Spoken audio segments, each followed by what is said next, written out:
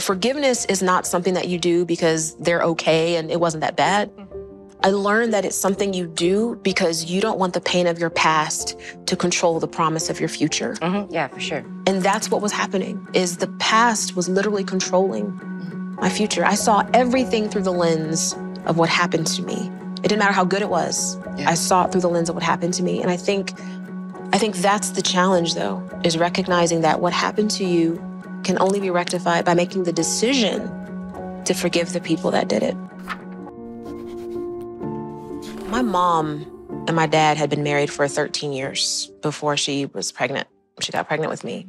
And um, she was actually angry because she didn't want to have children. She came from a really large family. They were very, very poor. And she said that she never wanted to have kids. But my dad was so excited. Like he wanted to have children um, from the moment they got married. And six months into her pregnancy, um, he started to have some stomach pain. And so he went to the doctor just to find out what was going on. And he ended up getting diagnosed with terminal stomach cancer. And they gave him six months to live. And um, I remember uh, my aunt telling me that um, he just was so crushed. I mean, as you can imagine, waiting 13 years to have a child, and Yeah. now you're going to finally have a child, and Right. and you're probably not going to see them Mm. go to school. And so um, he lived up until about a month uh, shy of my second birthday. But um, my mom, who has some significant mental illness, um, Mm. she was just really unstable. And he was worried that should something happen to him, that I would grow up in a very unstable situation. And so after he passed, my mom actually moved us to Florida. Um, I grew up in New Jersey. I was born in New Jersey. Moved us to Florida, following after a guy she barely knew. And um, I think they broke up like shortly after we got there. I was like literally like two, so I was young. But uh, a parade of men came in and out of our life over the next two years. And by the time I was four, she met a guy who became her live-in boyfriend. And um, I'll never forget, her sister passed away, and I was almost five years old. And this guy, I just knew something was wrong with him. Like he would hold me close to his body too tight for too long. And I just, I just never felt safe around him. And so Mm. when her sister passed away, um, she told me that she had to go back to New Jersey. And she was like, I'm going to leave you with him for just a few days. Oh my gosh. And I said to her, I was like, no, mommy, please take me with you. I won't Right. ask for anything. I'll be good. Um, but she couldn't afford another plane ticket. So she left me with him. And that night, I locked my bedroom door because, I mean, I'm only five, but I knew I was not safe with him. Yeah. And Mm. um, he used a straightened wire hanger to pick the lock. And he came in the room that night and violated me. Mm. Um, and I, even now, like the smell of beer on someone's breath, Yeah. it takes me back to that moment. And for several years um, after that happened, he continued to abuse me. And after he would do it, he would always say, You better not tell your mom, or else she'll get rid of you because she doesn't want you anyway. And I figured in my little mind, I was like, Well, she must be saying that she doesn't want me because, you know, how would he Just know this? You're Yeah. five. Yeah, I was five. And so I never, I didn't say anything until I was about seven years old when I finally told my mom because it was just, it got to the point where I just, I didn't want to go home. I was feeling sick Yep. and she had him arrested. And I was so excited. I was glad that he was out of the house and I thought I was safe. Uh, but on the day of his release, she took me with her um, to the jail to pick him up. And she brought him back home. And um, he continued to violate me routinely because at that point he knew, like, he basically had free access because Right. she took him back. Right. And my mom was physically abusive while he was sexually abusive. And I would act out in school because there was so much chaos at home. I couldn't Right. focus. Right. And so I would get punished at school for acting out at school. And I, at nine years old, I decided to drink laundry detergent because I wanted to end my life. I had saw a TV program where a toddler died from drinking bleach, Oh and I thought that would would end it. Um, but I just ended up getting really sick. And uh, two years after that, I my mom choked me to the point where I thought I was going to die. I thought I was going to die, and I lived. But I was so hopeless and helpless that I decided I wanted to end my life. And so I, I took a butcher knife, slit both of my wrists. Um, I still have a scar on my left wrist from when it happened, and I didn't die. But there was something in me that was so angry Yeah. and so bitter Yeah. that um, I carried that into my adulthood. Like I, I had this bitterness, and And God blessed. I was so successful in school. I was able to channel that trauma into success, but it was still there to the point where I would I would lash out at my husband and I would just be really short with people.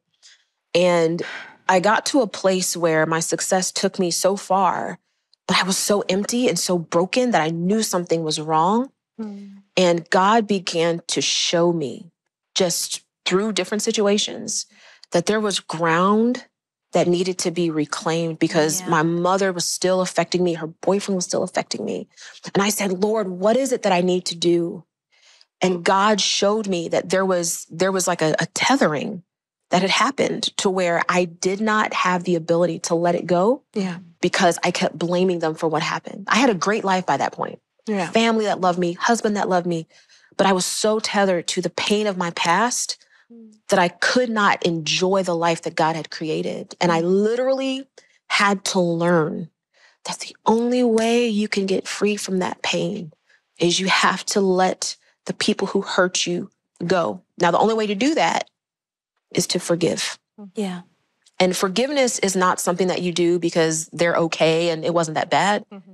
I learned that it's something you do because you don't want the pain of your past to control the promise of your future. Mm-hmm. Yeah, for sure. And that's what was happening is the past was literally controlling my future. I saw everything through the lens of what happened to me. It didn't matter how good it was. Yeah. I saw it through the lens of what happened to me. And I think I think that's the challenge, though, is recognizing that what happened to you can only be rectified by making the decision to forgive the people that did it. The only way we can forgive is through the Spirit of Jesus. You may not feel it, you may not, you know, sense it, but the thing, the act of forgiveness is for you. And it releases that person to the hand of justice and mercy, which is the Lord. And so God knows, and He's not slow. He's not slow with his with the way he does justice, but believe me, he will have it. And I'm just I just want to be a help to you for some of you that have been brewing over memories, brewing over things, stewing into, you know, some of these, you know, scenarios that happened years ago. And yet when you talk about it, it feels like it just happened yesterday. That's the stuff I'm talking about. My encouragement to you is to forgive, to release it. You'll be better for it. You, it, you won't buy yourself more time if you keep thinking on it, keep ruminating on it, keep holding on to it. You're, you're poisoning yourself. You know, you're wishing death on someone when actually death is happening to you in your own inside, your mentality, your heart, your family. Your kids are tired of hearing about it. Your, your husband is tired of you, you know, um, spilling the beans over and over again, reliving the trauma. It gets tiresome and you're the only one living in that, stuck in that mode, stuck in that place, and you'll never be free from it until you forgive. I'm just telling you for your own benefit. Just please help. I'm, I'm helping a sister out, help, helping a brother out. Just release them. I promise you, you'll be better for it.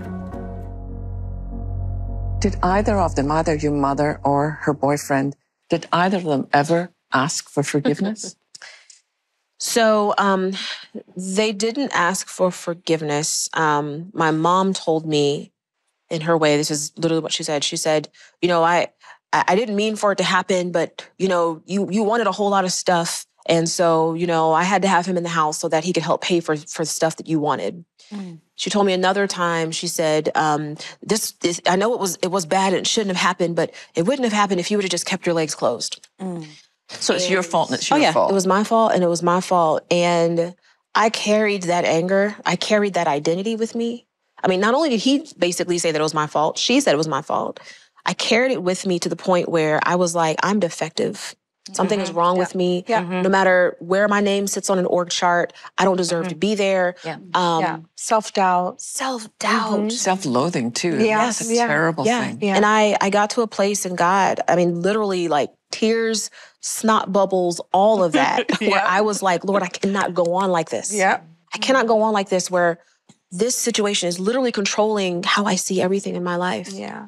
And God told me, God said, you have to forgive them. How okay. do you even begin? Yeah. How do you start that? How did that look for you? Because I know that God in his great mercy yep. gives us the strength to do that. Yep. I, I, love, I listen, uh, Steven Furtick's one of my favorite pe- preachers, and he talked about um, forgiveness and God, Jesus and his his grace and his mercy when he said to forgive 70 times 7 Mm-hmm. wasn't for that person just to keep violating. He said exactly it right. might take you 70 times 7 times a day Yes. to forgive. Yes. And and I believe we do that in faith, just like we receive our salvation, we forgive in faith. Mhm. Is that how it worked for you? Do you still at times say, God, I've just released them and I forgive them? Do you still do that? So I think the way it worked for me is interesting. There is so much power in our testimony. Yeah. Um, I was in college, and this is when it became full circle. I was in college, and uh, my roommate had been raped. And I found out about it, and I was talking to her about it. And I said to her, because she was crying, I said, I understand. And she said, How can you possibly understand? How can you possibly understand?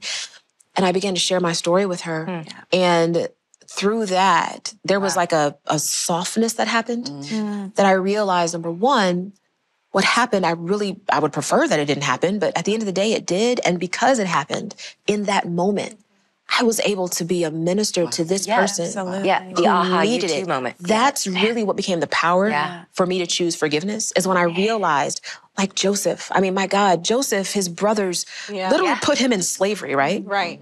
But if it wasn't for what they did, he would not have eventually become the prime minister of Egypt Wow. and been able to save his entire nation. Yeah. Um, I had to realize that, you know what? It sucked.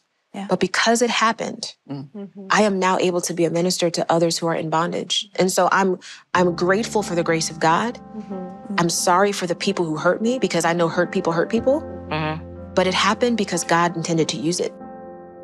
We place so much stock in apologies.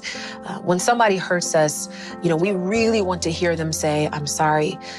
But there's really no power in an apology. I mean, if you think about it, uh, we apologize because we're socially conditioned to do so, even as a child, right? So we we hurt something, we broke something, and we're told, say you're sorry.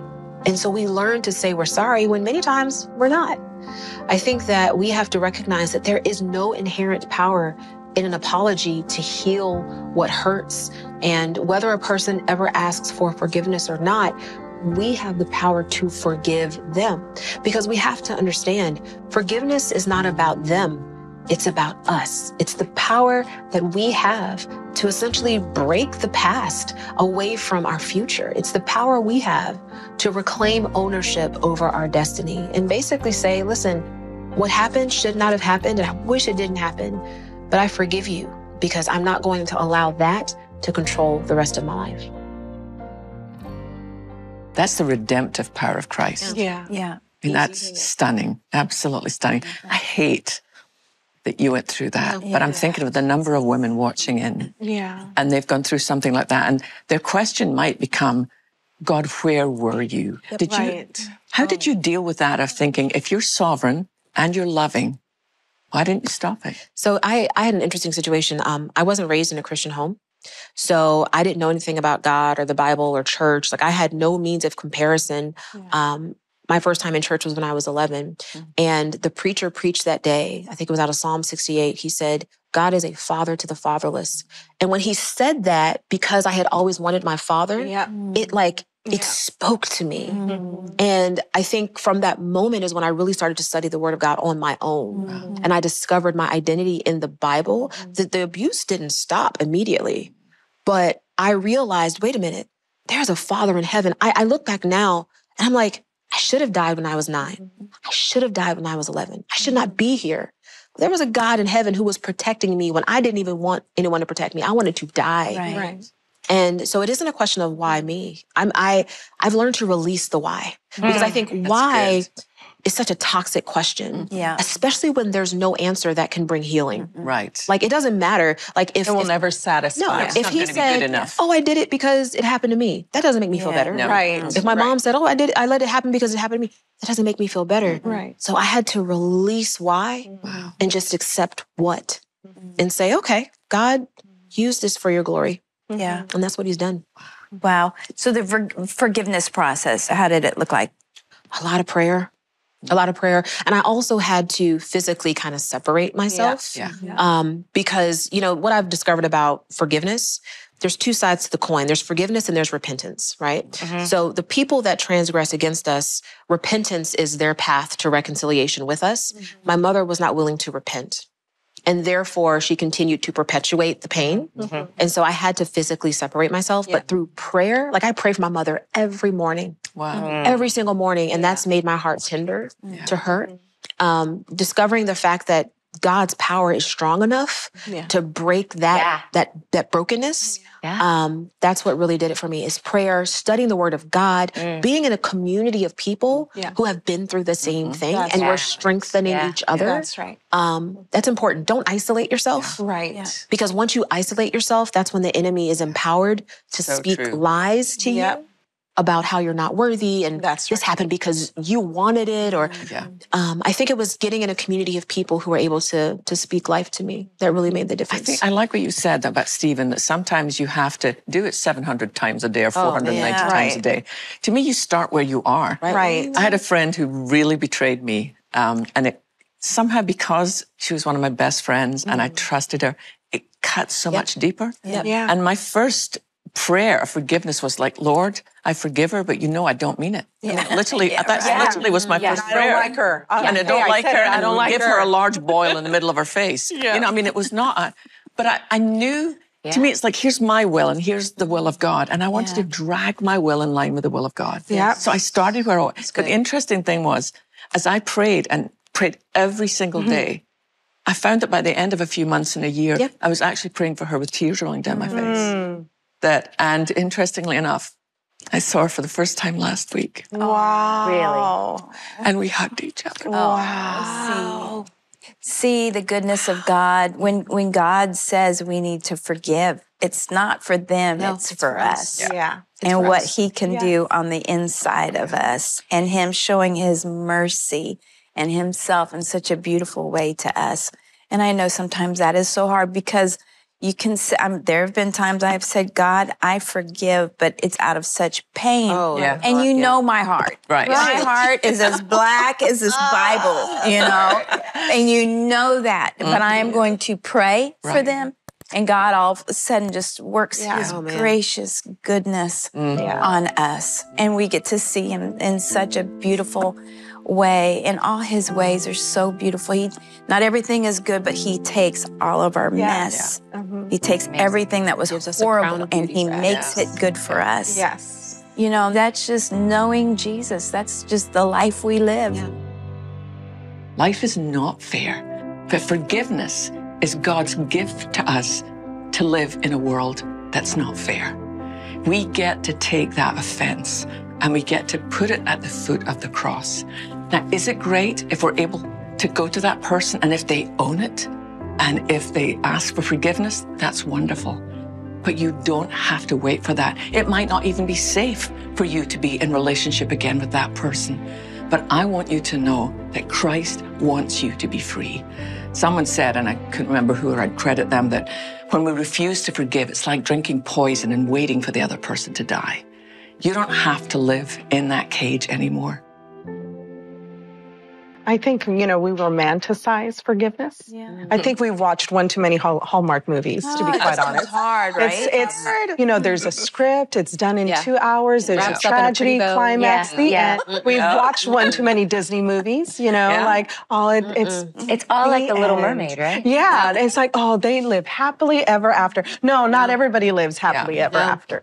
And so for forgiveness, especially for my life, it was the nitty gritty of, you know from from word on paper to real life like mm-hmm. how does that happen right yes and so for people that suffer trauma you know just inner healing stuff like it's still in in the in the workings or the makings like in the in the showroom floor where all the bits and parts of the car are all mm-hmm. over the place mm-hmm. and you're like can i ever recover this i'm here to say yes yeah. you, you, can yeah. however it's the tough work of forgiveness. Yeah. It's work. Yeah. Forgiveness absolutely. is work. And so for me, what it looked like, it was after my, you know, getting married, after having my four babies, mm-hmm. having this moment of like, I imploded at the age of 23 and walking through healing in my marriage. It's marriage is not like the climax of life. It's no. like another layer, another process right. that you invite to process you, right? Mm-hmm. So I I distinctly remember, you know, just having my kids at my mom's home. Now, this is my mom, my biological mom, and then my stepdad. Now, he was the abuser. So I'm at the home. My kids never wanted them to stay there, but I would come and bring the kids so my mom would see them. And it was a moment where my daughter started running down the hallway into like the lights weren't on and something just triggered. Mm. I swept my kids up left and I was like, I, I can't do this. Wow. This is I this is crazy. Yeah. This is crazy town. I love my mom, but I can't I can't yeah. coexist yep. with this that's unresolved yeah. right. and me trying to keep act like pushing okay. forward, mm-hmm. you know? Mm-hmm. So um I remember I, I spoke with my husband. My, hus- my husband said, are, are you ready to do this? And I said, yes. So I made an appointment with my mom, my stepdad, so we were in the living room, you know, like the furniture had plastic coverings and everything, you know, the Latina version. And so uh, no, no stains on the carpet, no stains on the couches, all right? So we're sitting there and I started off the conversation with my mom and my stepdad, and he was in a wheelchair going through dialysis. And I don't, I don't want to expose him in such a way where it's demeaning and dishonoring of my mom, but at the same time, I needed to do this. Yeah. So my husband started off the conversation. I looked to my stepdad and I said, you know, you did this to me. And all of a sudden, my mom's, you know, like mm. just the negative impact of news falling on you, knowing that it has happened, that it is true. Yeah, knowing it's true. Like it's yeah. it, it's a, it's different. Yeah. So when the news fell on her, seeing my mom crumble, seeing my stepdad all of a sudden straighten up and say, "You've ruined my life." Yeah. Mm. Mm-hmm. What? Yeah. Yeah. And so mm. I I paused. My husband stepped in. He goes, "Do you understand what what she just said? You've abused her." And you're you're refusing to admit it. Yeah. He just sat there quietly. And I continued and I said, I forgive you. I don't need an apology from you, mm-hmm. but I forgive you. And so all of a sudden it felt like this, yes. wow. this yeah. weight was lifted. Mm-hmm. Wow.